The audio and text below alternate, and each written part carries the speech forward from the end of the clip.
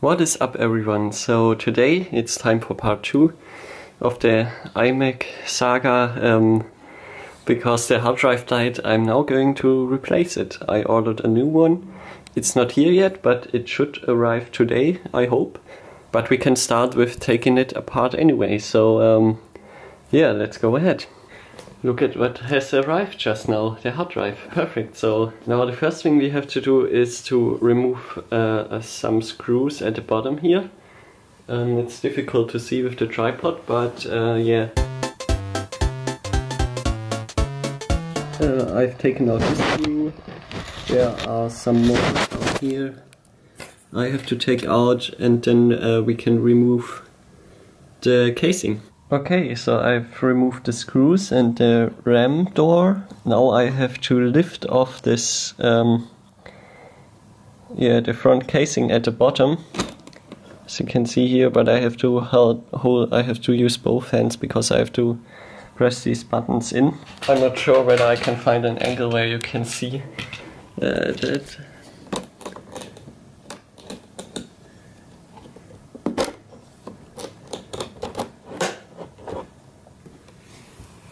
Okay, so now, now um, I have to put it upright again and use a credit card to go into the event slot here um, to release some clips, some plastic clips to get it out. Okay, so I think I have to slide it in here.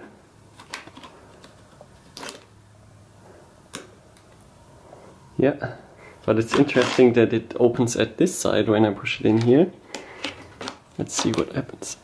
This side.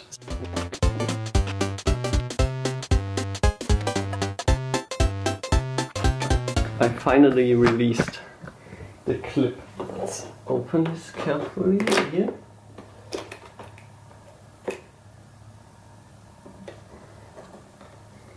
Okay, so at the top there's uh, a connector here for the webcam which we can unplug and another one here we can also unplug Nice. So we have now the front completely disconnected from the main body. Okay, the next step is to carefully lift um, this protection shield here.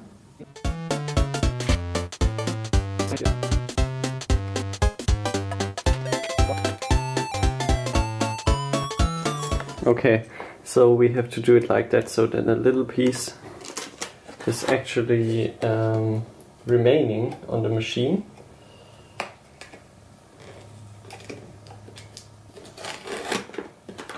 Yeah, like that. Oh, and we, I can see already the dust. Uh, here's a little bit of dust in the fan, but it's not too bad but I will definitely clean this when I'm when it's uh, open already. So yeah. Okay, now we have to remove this connector here, which is secured with two screws. Okay, we can disconnect the cable. Nice. Now we have to remove the tape on the side of the display here. Like that. So the tape is removed and now there are four screws in uh, every corner of the display. Uh, we have to remove so we can lift the display because underneath, I think here or here is the hard drive. So um, yeah, on this side is the optical drive, so I think on this side is the hard drive. Now we should be able to lift the display. So, yep, it's working carefully. Well, there's something connected here that we have to remove. Yeah. Okay. Oh, okay, so the hard drive is actually in the middle of the computer. That's interesting. Okay. So is this fully disconnected now? Yes, I think so. Let's remove this tape here. Okay, nice. Fully disconnected. Awesome. So one fan is here. Uh, let me show you the inside of the computer. I never seen an iMac before in, on the inside. So here's one fan at the bottom. Here's another one. Um,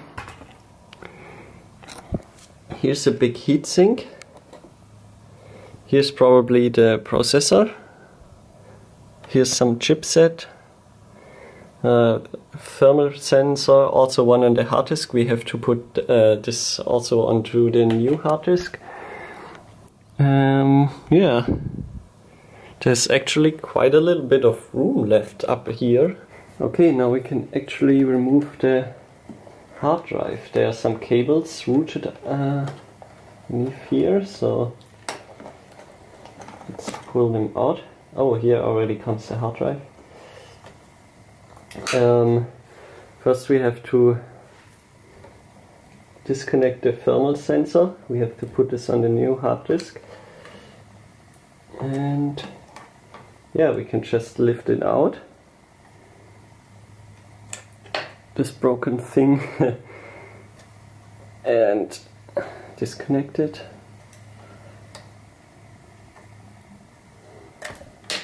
So this is a Seagate drive, 160 gigabytes, original Apple drive.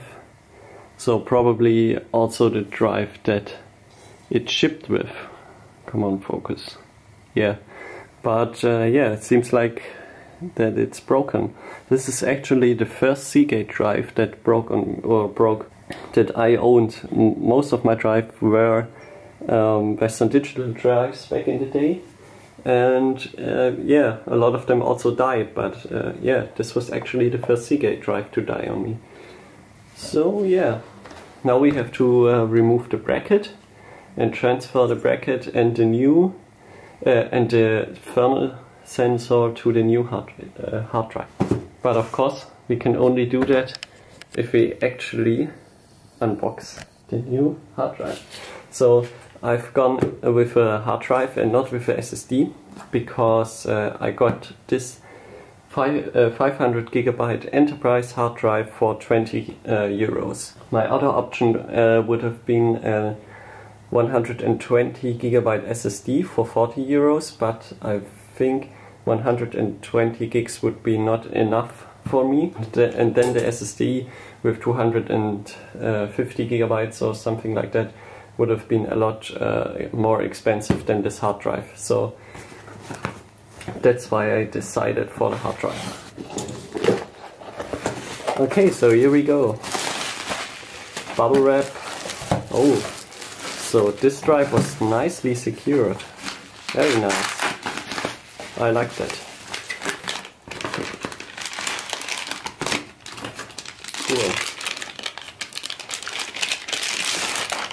So as you can see, Western Digital 500 gigabytes enterprise storage. So this should have a longer lifetime statistically than a uh, normal hard disk, uh, normal hard drive for con uh, consumer hard drive. But uh, yeah, I just found this one cheap and that's why I got it.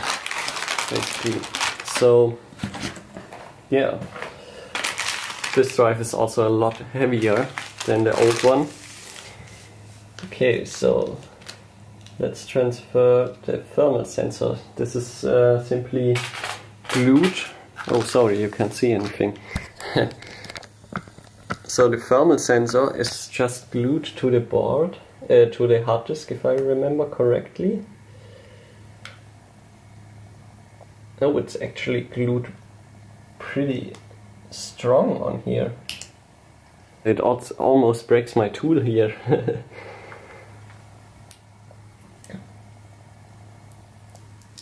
Ah, there we go. Yeah.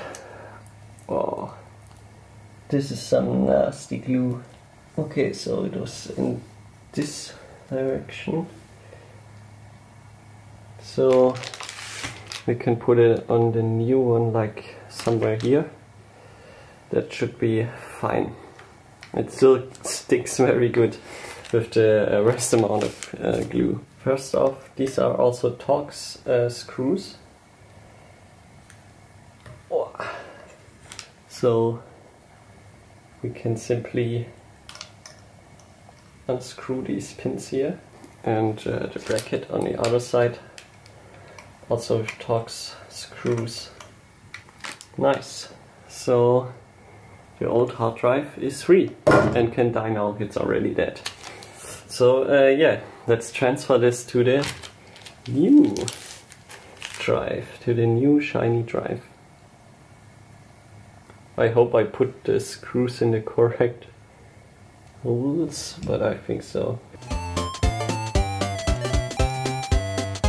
okay so the mounting is secure to the drive. I'm now going to uh, clean the fence a little bit and after that um, yeah we can start reassemble everything and uh, yeah I think I, I will show you after the cleaning process everything and then yeah I can build, uh, put everything back together and yeah. So the new hard drive is in. I've cleaned the fans a little bit. Not too much because I don't have compressed air or something but uh, I think it's fine. Looks looks good so far. So uh, yeah. So I will start reassembling everything now and then we can start it up and hope that it finally works. So here it is. Fully reassembled. So uh, the mouse is already plugged in so let's plug in the keyboard and hit the power button. Of course pressing down the Alt key, uh, the Option key. okay, we see Untitled, which is the USB stick. So let's boot off that. Okay, so let's select English. And uh, let's go to disk utility. And here is the new hard disk. 500 gigabyte western digital. Perfect. So let's erase it to Macintosh HD and erase erase perfect so now we can go ahead, select Macintosh HD, hit install. And now we just have to wait another time. Okay, we are rolling again. So let's select Germany, German keyboard, and let's connect to my Wi-Fi. Okay, I don't need uh, location services. Let's enter my Apple ID. Let's agree to terms and conditions. Yeah, I'm aware of that. Uh, iCloud. Do I need iCloud? Uh, not for now. Okay, let's choose a password. And let's choose a nice picture. Mm, let's go with the piano for this one creating your account. I'm not sure if you can hear the hard drive. It's not the quietest, uh, but it's fine. And it's not making any weird noises uh, like the one before that is now dead.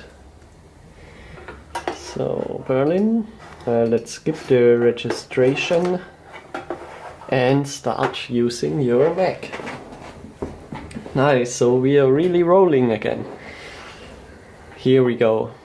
Awesome. So let's do the updates first. Right now I um, I have on the USB stick already the 10.8.5 combo um, package. So let's install that. So let's download the security update and install it also right away so that we uh, can one, do one reboot and everything uh, will be installed and fine.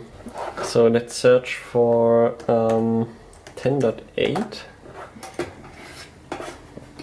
here we go. 06 that's the newest one. So download that.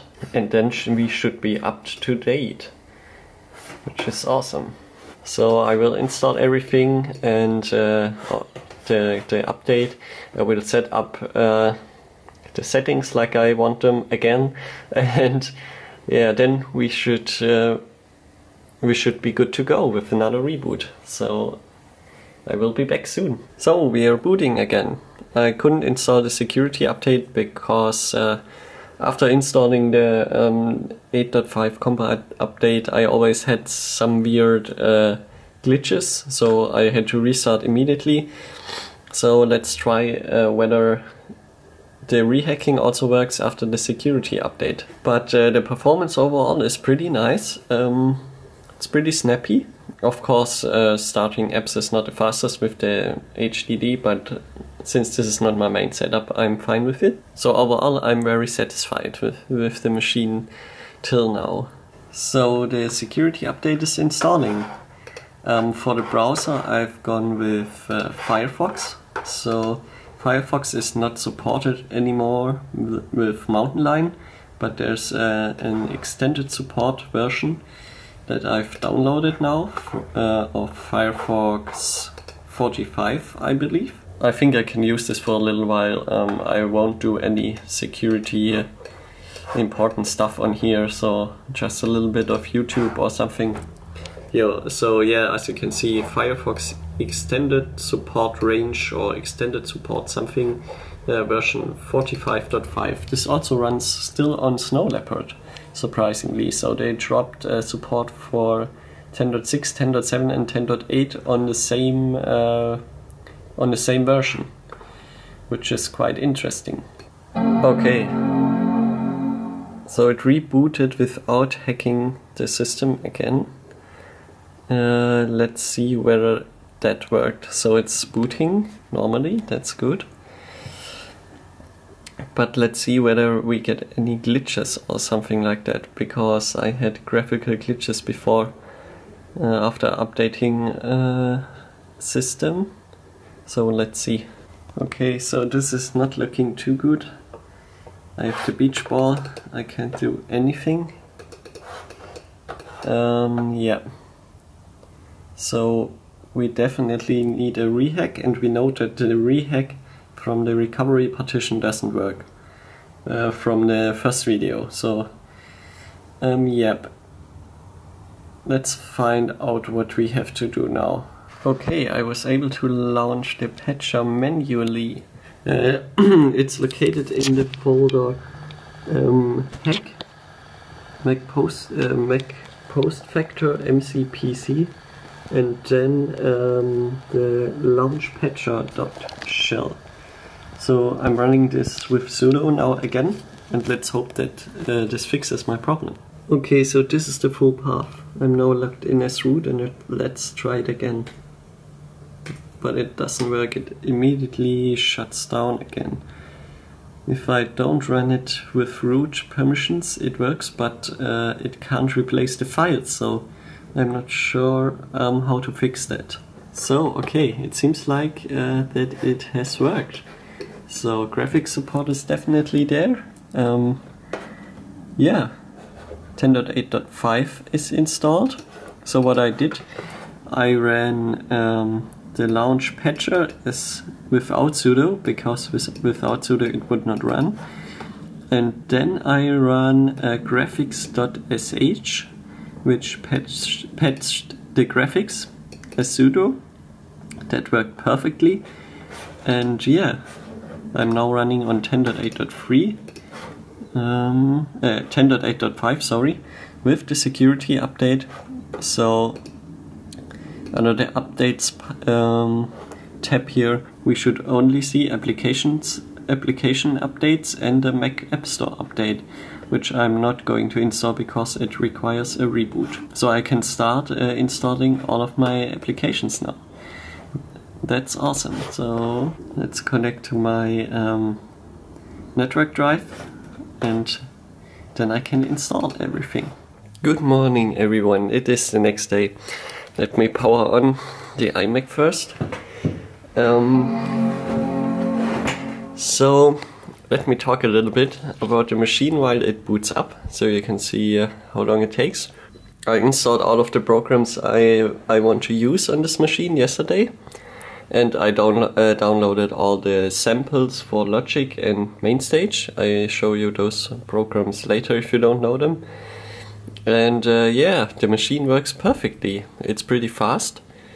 The boot up is uh, the boot uh, the boot up is also not that bad as you can see. So I'm using um, this keyboard from my main setup, uh, which is a Logitech uh, K811 and uh, the handy thing is it has three as Bluetooth storage uh, storages. So I have on one is my um, MacBook Air and on two is the iMac. So if I select two, um, it will connect uh, to the iMac as you can see. So I can use the same keyboard on both machines. So let me enter my password. Okay, so the machine works perfectly smooth. Uh, as you saw, the animation was also per perfectly smooth.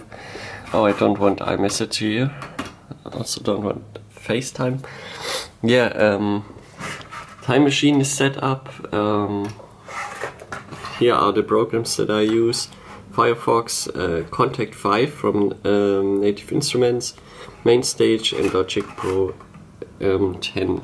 And uh, as you can see, I have now something about so yes, 70 gigabytes um, used on this uh, disk, so I have a lot of spare, and it will probably fill up um, quite quickly. I think the machine is working perfectly fine now. No hiccups, no uh, weird stuff happening or, or something. So uh, the the mountain lion hack, um, the MacPostFactor is working really great and uh, yeah, it's it's really a joy to use. It doesn't seem ten years old to me. Um, it's quite snappy and everything. So I think uh, one one good upgrade on this machine would be um, more than two gigabytes of RAM.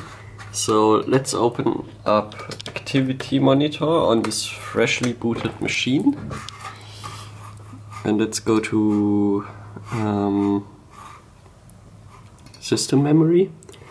As you can see, it's not that bad. I still have around 1.3 gigabytes of free RAM after booting up, so um, that's plenty to, of left to do with. But if you have some tabs open in Firefox and uh, playing a YouTube video or something, um, it quickly can get full. So uh, yeah, but for for now it's uh, fine. So let me start Kontakt 5. With Kontakt 5 you can uh, use a lot of high quality um, samples and stuff like that from native instruments. So I have three uh, pianos here. Each of them is around 5 to 6 gigabytes and uh, on disk space.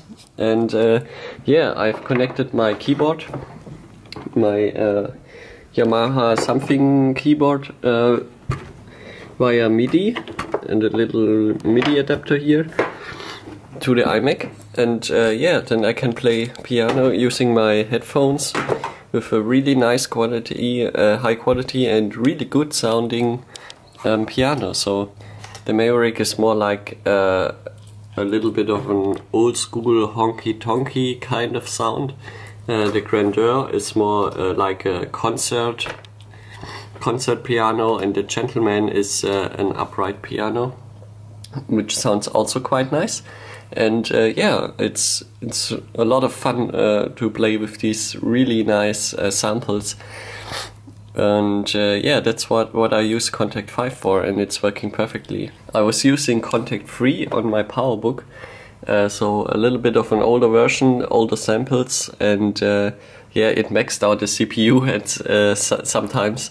And he here with the Core 2 Duo, um, I have plenty of room left with the processing power, which is really, really nice. But one thing to note, uh, this is not the latest Kontakt 5, because this doesn't run anymore under Mountain Lion. So I think uh, the, the limit on this machine is the OS support and uh, not the processing power for me, uh, for my use at least. Which is a little bit sad, but uh, yeah, what can you do? as you can as you can hear, maybe um, I put the headphones next here. Um,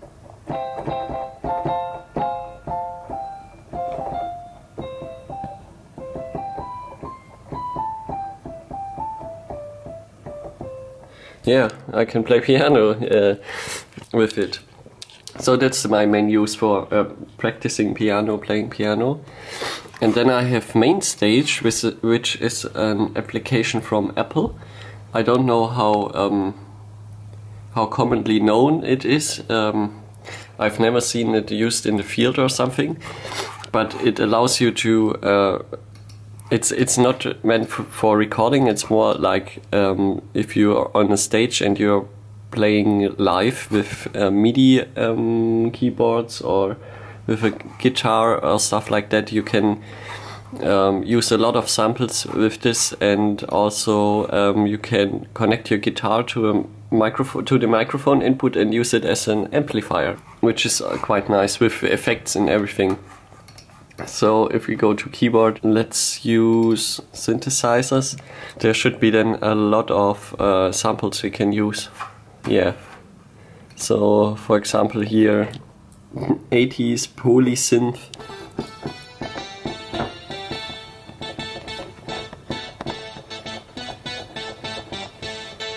Yeah, uh, so there are a lot of sounds uh, in here and of course you can add a lot more if you want. These are all the standard sounds. They are about 50 gigabytes. I downloaded them um, directly with MainStage. Uh, and yeah, MainStage is also an older version because the newest one is not uh, supported anymore. Which is quite sad because the new versions have uh, some more samples that are, that are really cool, I think. And uh, yeah, I never used this program before because it was not available on a PowerPC. Maybe a, uh, an older version was, but I never used it. So um, yeah, I will try. With, I will play with that a lot. I think. And then if I ever want to record something, I have Logic Pro um, here. I also want to install GarageBand to try uh, that and compare them a little bit. And yeah, it's also an older version. Uh, same story as with MainStage, but um, yeah, I think the performance for for that machine is really nice. Uh, so there are no hiccups if I'm doing something like that.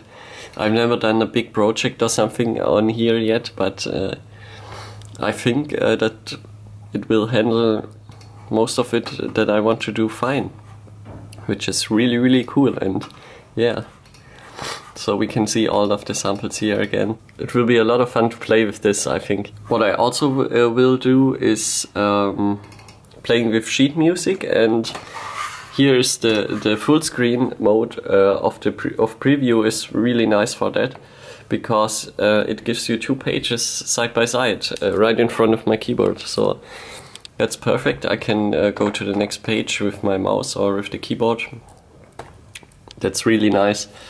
And uh, yeah, oh man, how slow the animations were back then. For the full screen mode, they're a lot faster now. Crazy. Okay. So for the for the end, I think it might be interesting to do some um, benchmark tests. So let's get Geekbench. Geekbench, Geekbench. Oh, it's already Geekbench 4, okay. Let's see whether we can run Geekbench 4. Oh no, we can't. Okay, 10 to 10 at 5 for later. So, what's with Geekbench 3? Let's see whether Geekbench 3 works. We can also do a little uh, quick YouTube test. So, let's select a trailer here. And let's uh, let's select 720p.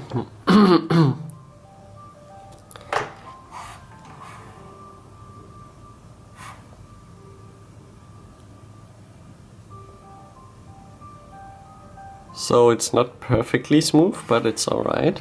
Let's see what happens with 1080p.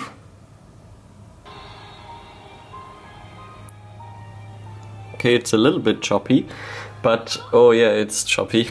But um, I have a really really nice video application that can also play back videos from YouTube.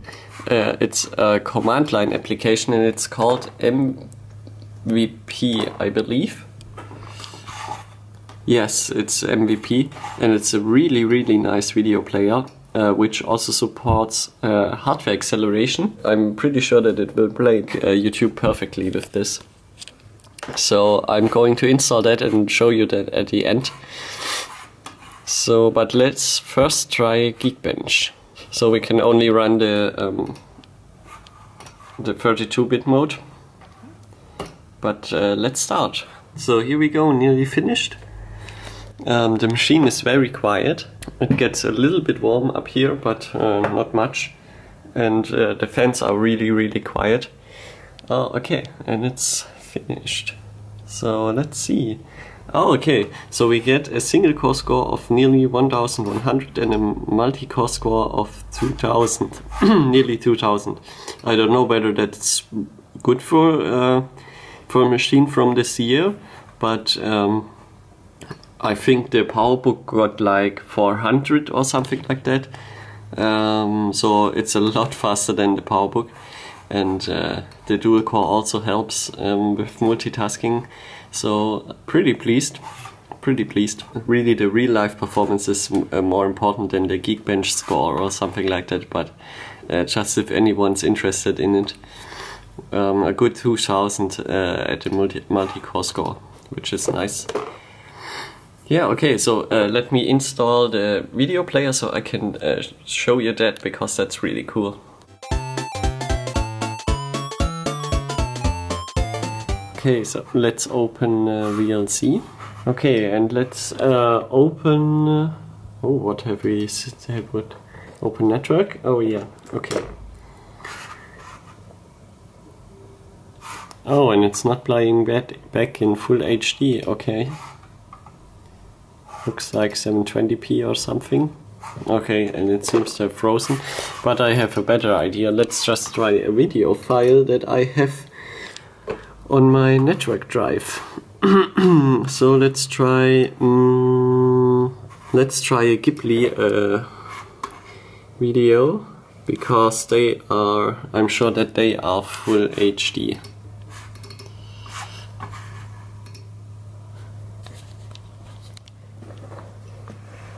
Oh, the colors are just so nice on this display.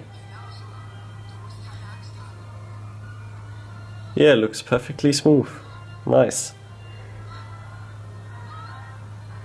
Oh, the display is really nice. I really like the display quality. I have to watch a film on this. it's really nice, man. Yeah, but enough for that, so it can play back full HD with hardware acceleration or stuff like that. Um, just YouTube in the browser will not work with full HD. At least not in Firefox. Maybe it works in Safari, but Safari is so outdated uh, on Mountain Lion, so I don't want to try that. But yeah, there you have it. Um, that is the machine. That's what I'm using it for, mainly for my keyboard.